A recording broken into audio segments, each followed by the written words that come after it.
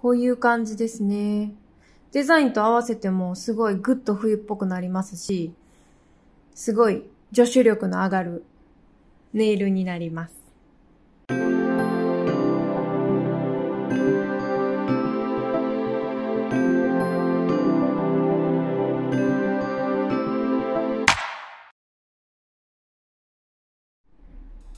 こんにちは。ワンカラーのさやかです。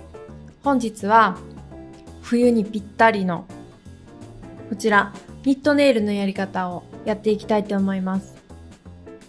すごいこれはちょっと凹凸も出てて可愛いニットですね。結構いろんなものと合わせても全然邪魔にならないデザインになってます。ではよろしくお願いします。えー、今日使っていく商材なんですけども、えー、白のレトロの23番マットホワイト。こちらとネイルタウンさんのアイシングホワイト。こんな感じのものです。でこちらとノンワイプのマットジェルですね。を使ってやっていきます。今日は主にこういう細い筆を使ってやっていきますので、最後までご視聴よろしくお願いします。ではまずはじめにペトロの23番。こちらですね。でワンカラーを塗っていきます。結構マットな感じの固めのジェルなのでムラが出ないように均一に塗っていくことが一番大切になってきます。な感じで一度硬化させます。次に、こちらのノンワイプのマット。こちらで、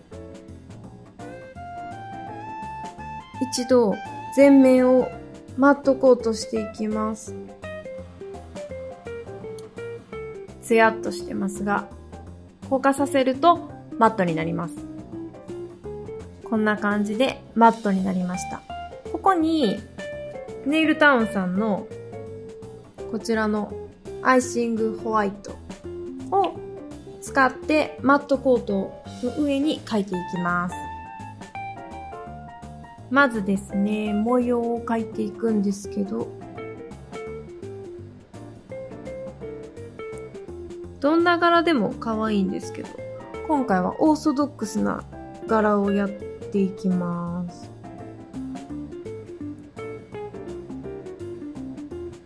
ニットコートは一回はやってみたいって思うデザインですよね。すごい可愛いです。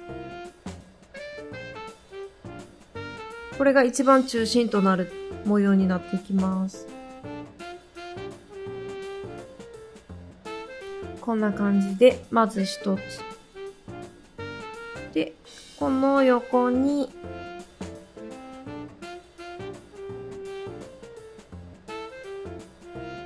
線を入れます。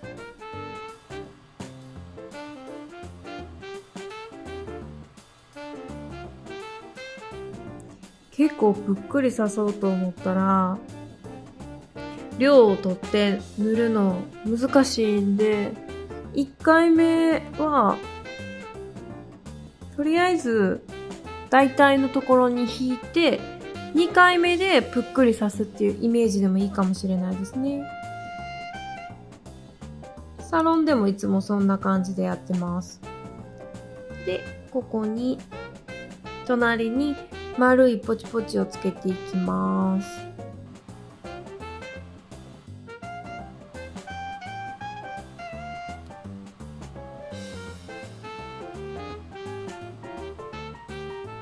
こんな感じですね。硬化させます。こんな感じで2回目書いていきます。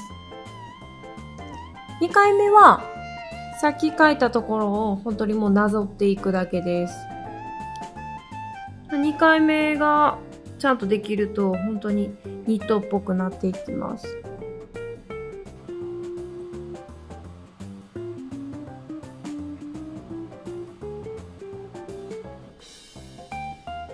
横も引いていきます。で、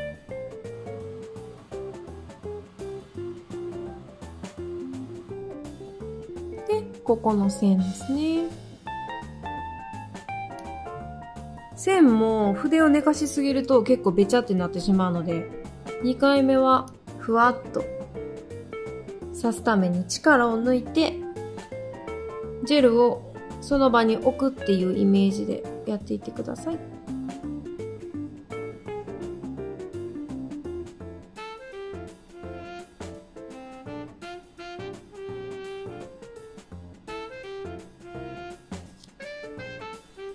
こんな感じで、ニットネイルの完成となります。5本組でアートを作るとしたら、こういう感じですね。デザインと合わせてもすごいグッと冬っぽくなりますし、すごい女子力の上がるネイルになります。はい。ご視聴ありがとうございました。気に入っていただけましたら、グッドボタン、チャンネル登録よろしくお願いします。また、コメントなどいただければ嬉しいです。よろしくお願いします。ありがとうございました。